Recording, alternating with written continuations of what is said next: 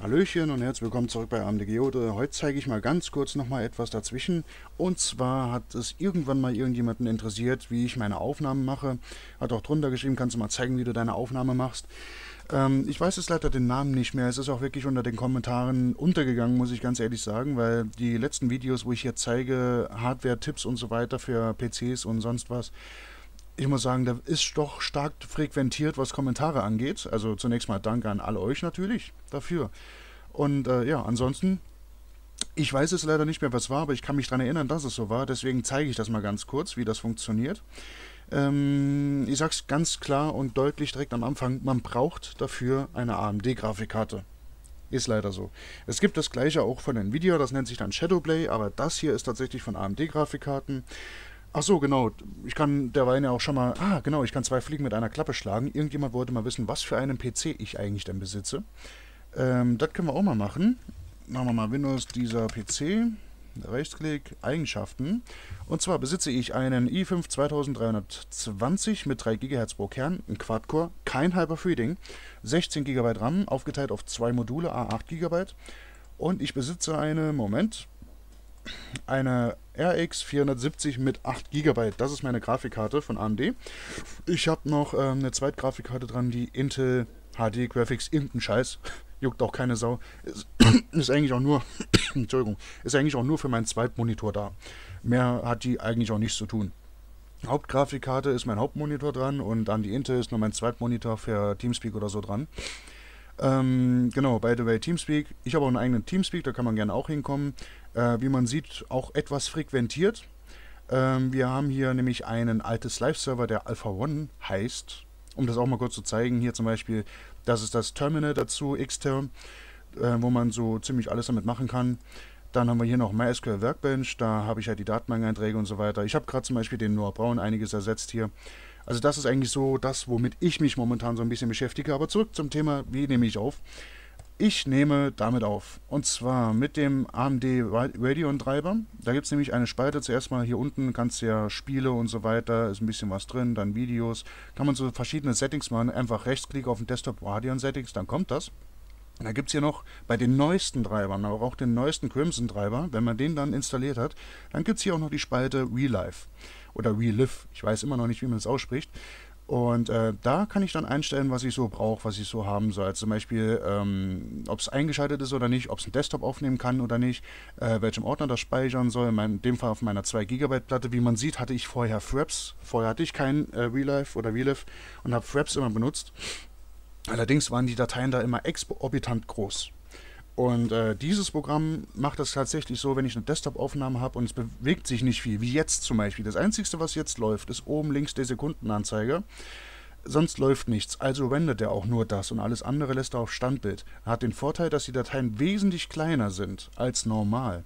Also ich gehe zum Beispiel aus einem 10-Minuten-Video mit knapp 100 Megabyte raus. Wenn überhaupt. Ähm, der andere Vorteil ist, man kann auch einiges einstellen. Man kann zum Beispiel auch ähm, eine Art Wasserzeichen einfügen. Also wir haben zunächst mal hier Videoaufgabengerät, da steht zwar Analog Capture, was auch immer das jetzt bedeuten soll, da bin ich jetzt selber nicht so ganz auf dem Laufenden. Dann auf die Audioaufzeichnung ist klar, von meiner RIA-Soundkarte, die das Mikrofon.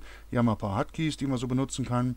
Des Weiteren haben wir für die Aufzeichnung ähm, Profil, Benutzerdefinition, klar, ich stelle immer alles selber ein, grundsätzlich. Ich habe auf Game-Aufnahme, weil ich durchaus auch mal Games aufnehme und da brauche ich auch wirklich schon eine gute Bitrate. Hier kann man die Aufzeichnungsbitrate manuell einstellen. Ich habe sie momentan auf 15 Mbits, kann man bis 50 schrauben. Dann sieht das Ganze auch richtig geil aus. Aufzeichnung kann ich äh, 30 FPS, kann ich bis äh, 60 machen. Ich glaube sogar 120 sind möglich. Codierung AVC, Main-Konzept ist klar. Alles andere kommt nicht in die Tüte.